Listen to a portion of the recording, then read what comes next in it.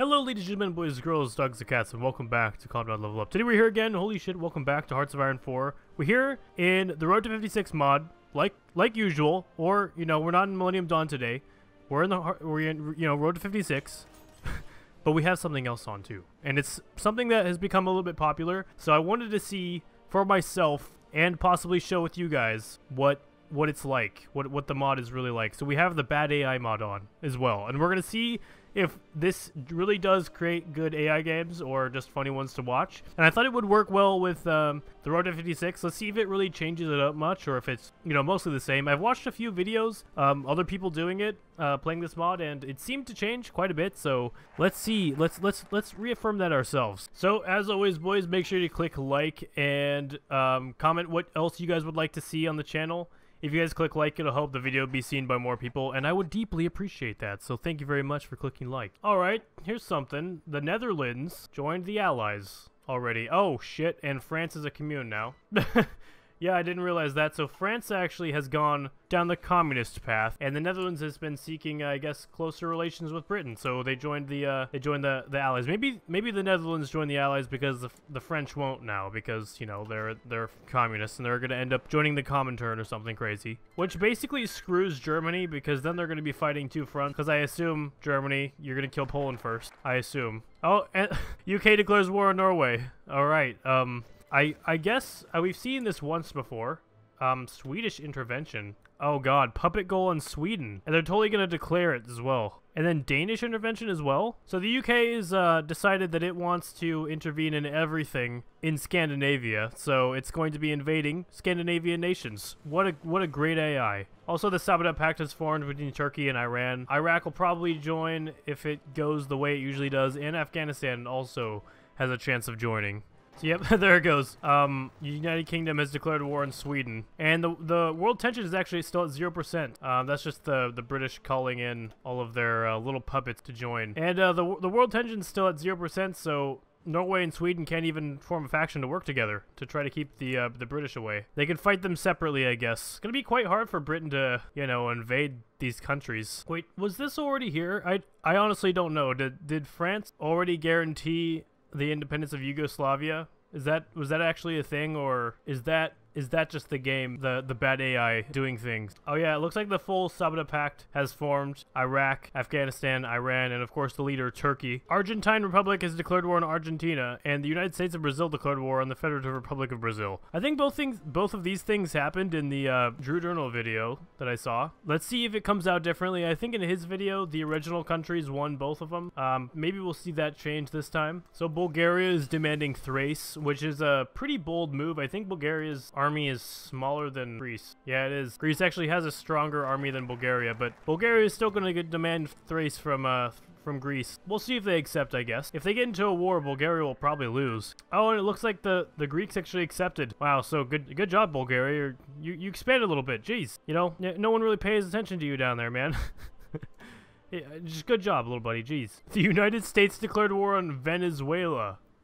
Wow. Okay, that's not something you really see. Venezuela being fascist. Um, what's Venezuela got going for it? Will it be able to defend itself? It's got 10 division. Probably not. If if it puts all its guys on the on the coast, it might be able to hold the Americans off. But that's a that's a crazy move from the U.S. Jeez, and here they come already. Americans from Puerto Rico are about to land in Venezuela, and I'm sure the the American divisions are a ton better. But yeah, the Federative Republic of Brazil has has won their civil war against the uprising, and it looks like Argentina is going to win their civil war against its uprising as well. They were both democratic, so both democratic uprisings, and the non-aligned countries held them off. Well, it's 1938, and uh, Germany still has not done Anschluss. They haven't even done Rhineland yet, so I, I don't know what, what Germany's doing. The Free States with uh, Switzerland has formed before Germany even did Anschluss. And Between Seas has been formed.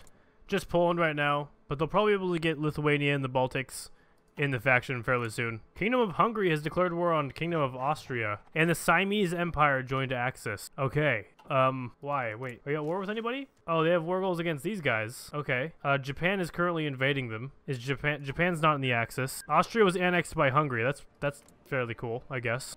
so Anschluss has been uh that Germany waited too long. Hungary got them first. So Hungary can now go down restoration of Austria-Hungary, and it'll gain cores on a ton, ton of places which is pretty cool. We'll see if Hungary is able to do anything on that. Um, if they if they join the Axis, then they'll probably be able to do okay at it. The Actima Patagonian Free State declared war on Chile. Also, Venezuela um, got puppeted. Rest in peace, Venezuela. Jeez. But yeah, Chile is in two now. Um, there has been a non-aligned revolution in Chile. Um, Chile is democratic. So it's the other way around over here in Chile where, where Brazil and Argentina had democratic revolutions where they're non-aligned countries. Chile was a democratic country and they're having a non-aligned revolution. So looks like you know, non-aligned non-alignment is pretty popular down here. So we might see the uh, unholy alliance form in a little bit here. We might see them go down alliance with the USSR because it's going to be a little bit longer for them to go down Rhineland and get to war with the USSR. So going through here, the AI might just think that's faster and might just do it. So we might see the unholy alliance form between Germany and the USSR, which would be pretty crazy. I don't think I've ever seen that happen in, in an AI game. I've seen it happen in player games before, of course. Oh, look at that. Iraq. Oh, look. Oh, okay. Italy has joined the Axis. Um, all of a sudden, I guess. Are they at war with somebody? Doesn't look like it. Um, Japan's still not in the Axis. But the Assyrian Empire has left the Sabda Pact. I'm not sure why. They just didn't want to stick around anymore. They, they have bigger plans, even though they only have 10 divisions. Um, they're doing rapid industrialization. They haven't even, well, they've gone down a little bit, gone down the uh, expansionist tree a tiny bit. Doesn't look like they're going to go down fascism, though. And here are the Brits. They're actually uh, landed in Norway. Last time I checked, they still weren't weren't here yet, so looks like a lot of these guys are going to get surrounded. So Britain might actually win in Norway, which is interesting. Reorganized nationalist China declared war on China. Oh shit. So, oh that's that's just the Japanese puppet state. I see. Wow, Germany is just really being terrible. I mean, they're not doing any of the stuff that expands at all. Also, the Mongol United Autonomous Government joined. Oh shit, Japan just formed its own faction, I think. Um, let's let's go check what that looks like. Okay, check it out. J the Japanese faction. It's I think they just I think it's just it and its puppets. So uh, it's nothing too crazy, but it's the Japanese faction. Don't see that too often. The Allies are in Sweden too. They've landed in a couple cities um, right here, and they're almost in Stockholm as well. Um, but it looks like, uh, actually, yeah, it looks like the Brits are going to get into Stockholm. Well, they might hold them off, actually. If they hold them off, these guys are just going to die right here. Unless there is a port right here. Yeah, does look like there is. And they got repulsed out of here too. Looks like Sweden actually has built an army. 38 divisions, that's that's pretty good. Uh, last I checked, they were pretty low on the military. There we go. Germany's finally doing Rhineland because they ran out of other shit to do. So unless they do alliance with the USSR right now, they might end up going down anti-Comintern Pact instead. Just almost get there and then turn around and do the other thing. That that that would be pretty bad AI. Oh, look at that too. Nationalist Spain joined the Axis. All right, so now there should be Germans coming down here um, and helping the, the nationalists finally win this war because it's been taking forever. Italy declared war on Greece. Um, is Italy going to lose Albania like they usually do to the Greeks? Uh, if Bulgaria joins the Axis right now, that would probably... Oh, they're doing Slavic mentality. Um, oh, I see. But they, they have gone down the, the communist path. So Bulgaria probably will join the Comintern. I think Romania did it as well. Yeah, they did. Look. Oh, this will allow them to join the Comintern, but this is not this is not giving them this is not giving them communism. This is just allows them to join the Comintern. Here's where they can get fascism or democratic or communism in their government, I think. Germany's befriending Japan, but it's a little late for that, I would think. Oh yeah, look at that too. National, or I mean, Republican Spain finally getting destroyed. And Norway was puppeted. Rest in peace, Norway. Um, and now the Swedes are invading Norway to, to I guess, uh, repulse the British out because the, the Swedes have a ton of divisions. They're finally allowed to enter because it's British territory. And it looks like the Swedes are going to do pretty good unless they get attacked from the back by the British. Poland declared war on Lithuania. Poland wants to expand. I guess they uh, didn't do between seas, or they did, but they didn't want to join the faction, and so they instead declared war on them. Oh, Estonia's in it. So Estonia is the only one that joined. Latvia and Lithuania did not join. Argentina won their civil war as well. Oh, look at that. China was annexed into um, reorganized nationalist China, which is a Japanese puppet. So um, Japan just got quite a lot of manpower on their side. The Chinese United Front still exists, but it's like two tiny states. Well, not tiny. They're, they're fairly big, but they're, they're, they're not powerful at all. Yunnan and that one. Oh, look at that, Italy. You're you're a little bit competent this time. You're you're doing okay. Well, there are Germans here helping you, but I mean, on this front, it's just Italians, and they're they're kind of winning. Over here, it's just Italians, and they've done a they did a full-on landing just by themselves. That's crazy. Good job, Italy. So France, um, if they join the Comintern and the the Comintern goes to war with the Axis, they are completely surrounded at all sides by three Axis powers. So that's gonna be a little bit scary.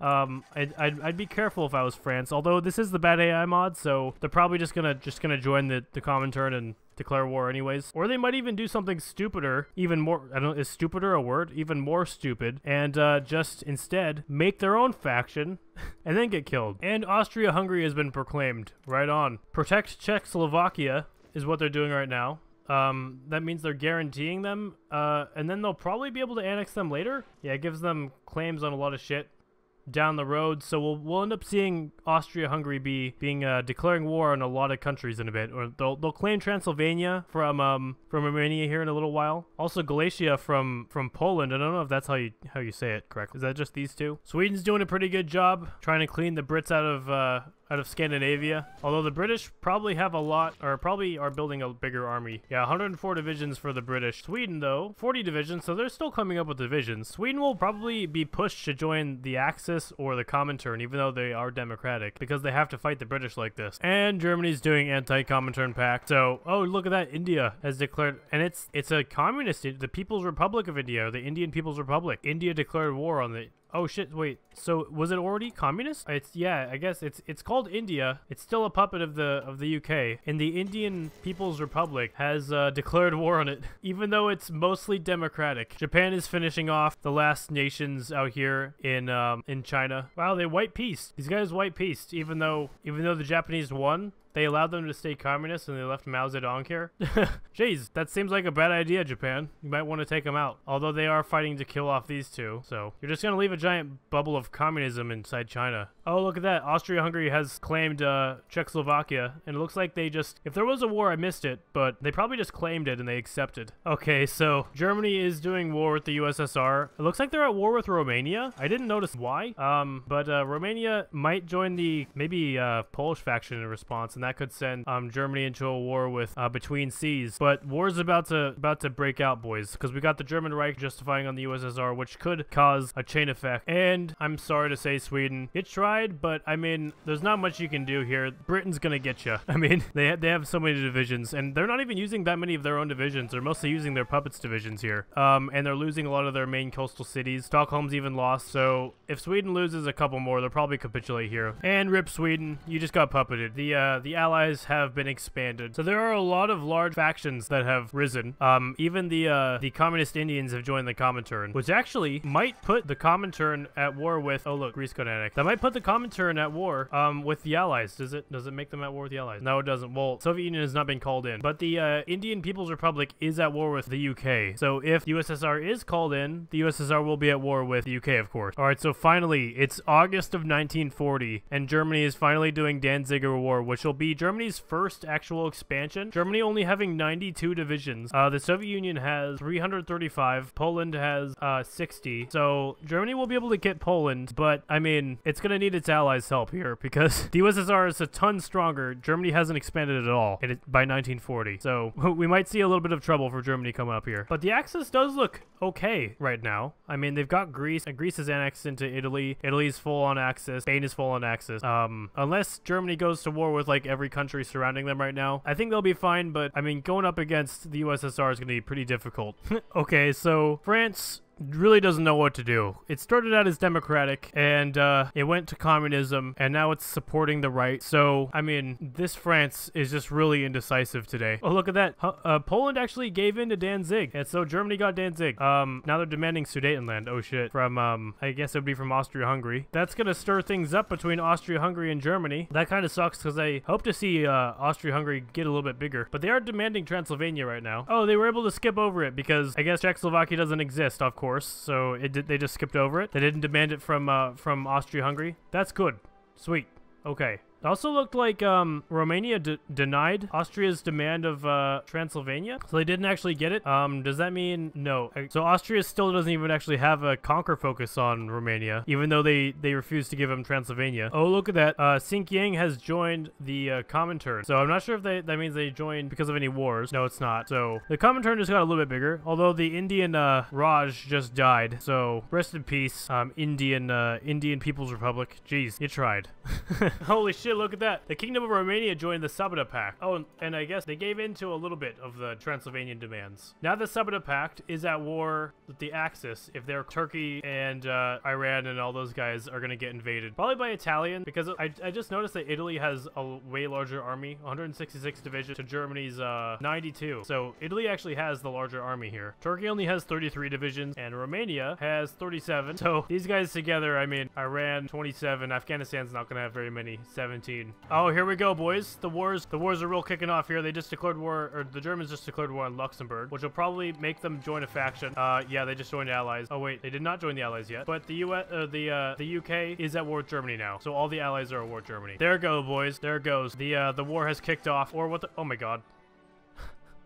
Why is Austria purple now? Austria not purple anymore. Austria was purple for a sec. I'm not I'm not tripping out, right? That was purple, right? Okay, I saw purple. Now it's gone. Maybe that was just a map mode that I clicked on somehow. That was that kind of freaked me out there for a sec. Siam is in the Axis, so they they will be able to invade a little bit into um, British colonies down here. Um, but they'll probably get destroyed by the uh, the Indian nation. It's got not actually very many divisions. It could have a lot more because of its population. Actually has zero zero manpower right now. So it won't be very effective at fighting. Germany's now doing war with France, so we'll see France will have to fall here. Um, we'll see what faction they join, though. That will probably change a lot. They are the French Commune right now, but they are actually moving towards fascism, and they have a lot of democratic. So they could, I mean, they could join the Allies or Comintern, honestly. They'll probably join the Allies, though. Let's let's see. That's my that's my guess. Japan just declared war on the Soviet Union. Holy shit! Wow. Well, there you go. There's there's Japan doing something something interesting. They do have quite a lot of division. Uh, 158, but that's still I mean that's that's not as many as USSR. But the USSR is going to be um, a little bit occupied over here pretty soon, I think. Also, Germany is now losing to the Allies. Um, the Benelux region. They're being pushed back now, of course. So oddly enough, I think one of their best chances of winning is to actually declare war on France because that would allow Italy and Spain to move up and help them. Ireland joined allies. Okay.